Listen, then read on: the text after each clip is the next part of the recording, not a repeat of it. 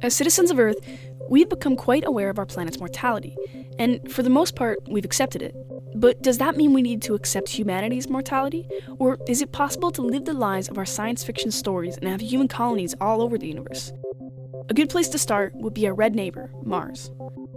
In this Sci 5, we explore five questions and answers on terraforming Mars, including the challenges, the ethics, and if it's even possible to do so. Number 5.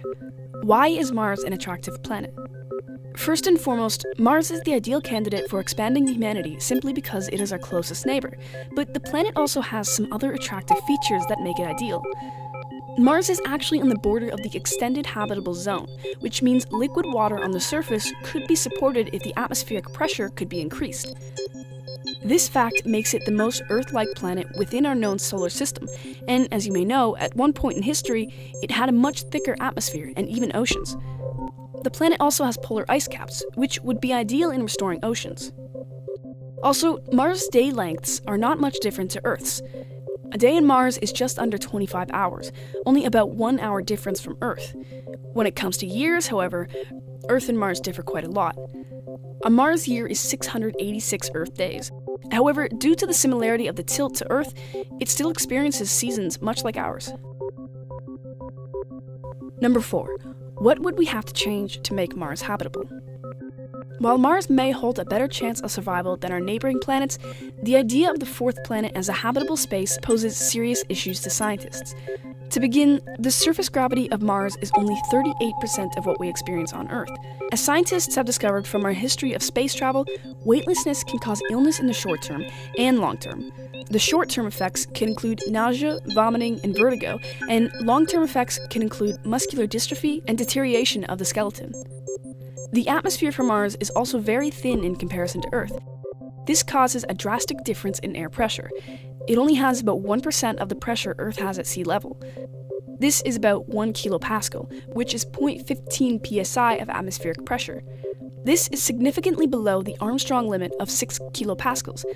This limit refers to the point at which the pressure is too low for humans to survive, as blood, saliva, and the liquid within our lungs will start to boil at regular temperatures. Humans would simply not be able to breathe the oxygen they need and would die in a matter of moments. Another issue is that Mars lacks a magnetosphere, which is responsible for protecting the planet from too much solar radiation and also retaining an atmosphere. This is actually thought to be an explanation for Mars's extremely thin atmosphere. The lack of protection from solar winds may have caused the winds to strip away a thicker atmosphere the planet may once have had, it is also thought the planet did once have a magnetosphere that collapsed early on, and restoring it would be vital in bringing back not only a proper atmosphere, but also flowing liquid water.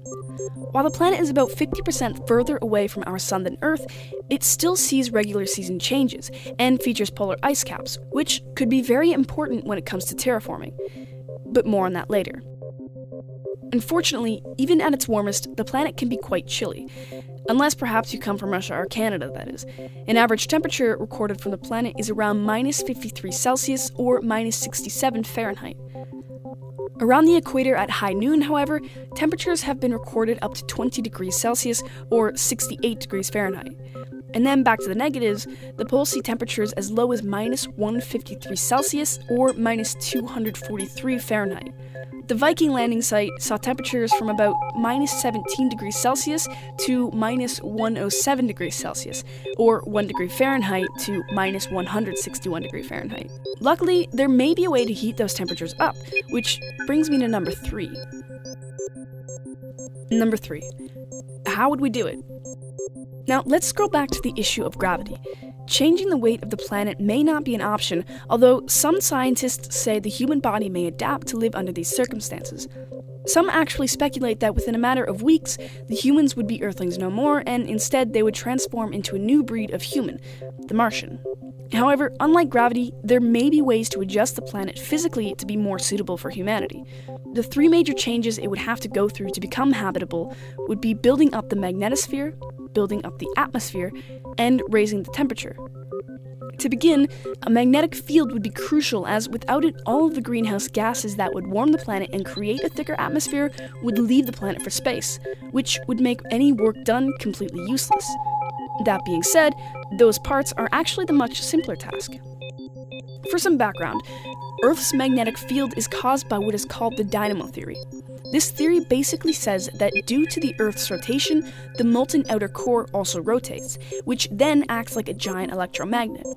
Now, Venus does not have a magnetic field because it does not rotate fast enough to spin the inside, and although Mars may not be short on this qualification, its core is much too cold and is not liquidized, which means it won't spin and create the field. Therefore, to bring Mars's magnetic field back, the outer core would need to be liquidized.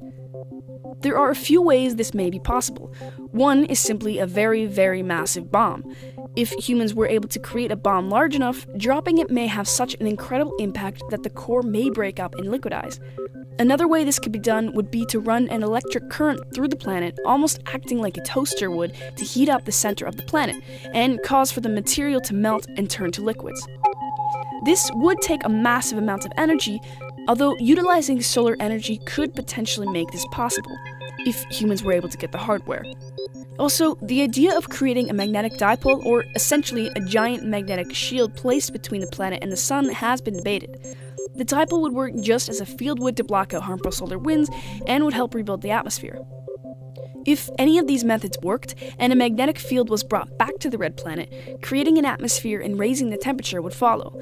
One way to do this may be to import ammonium. Ammonium is a very powerful greenhouse gas, and if you've learned anything about greenhouse gases from grade school, it's that releasing them into the atmosphere will cause a planet to trap in more heat, warming the surface temperature. Without these gases, Earth would be constantly below freezing. Conveniently, an immense amount of ammonium is held in ice on planets in our outer solar system, and it may be possible to transport these to Mars.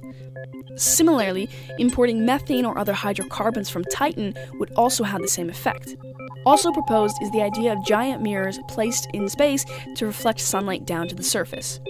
If any of these methods took place, nature would eventually take over, and as the polar ice caps melted, more CO2 would be released into the atmosphere, causing the planet to naturally heat up quicker.